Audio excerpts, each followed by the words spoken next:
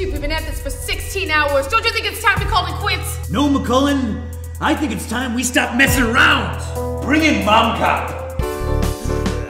Mom Cop knows the way to keep the bad guys away, and she makes green bean casserole. Mom Cop, you're my hero, even if your methods are unorthodox. What the hell, lady? Sorry, sweetie, schmutz on your face. Who are you? Who are you? This is not the son I raised. I don't know you, lady. Oh,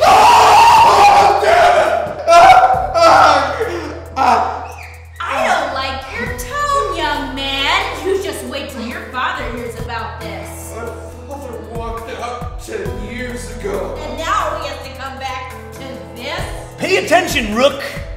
Maybe you'll learn something. I don't know, Chief, this doesn't feel right. Criminals don't play by the rules. And neither does Mom Cop.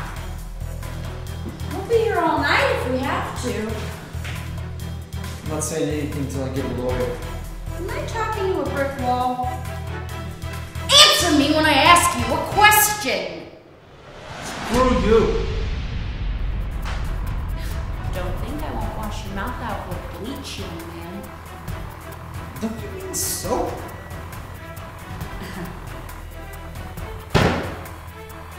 On, lady. This is, this is a joke. Okay. Oh, okay.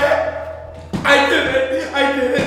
I did it. Please. This hurt me more than it hurt you, okay? You're mad. I'm not You're mad. I'm not mad. I'm disappointed. Another case closed. Now, if you'll excuse me, I have to go put $5 in a birthday card for my son. Peaches. Hot sauce. Gee, where did I put my bleach? Oh, boy.